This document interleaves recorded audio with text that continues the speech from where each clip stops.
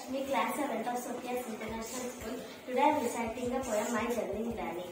Grannies come in many sizes and give us funny surprises. Do you know my granny knows to juggle? With her I like to snuggle. A great spotter of thing is she, she's not let one thing to be. An expert tossing everything inside, people around her get quite right. Kitchens, office, streets and markets. She juggles everywhere and cannot stop it. It's hard for her to check herself, so no one dares offer her help.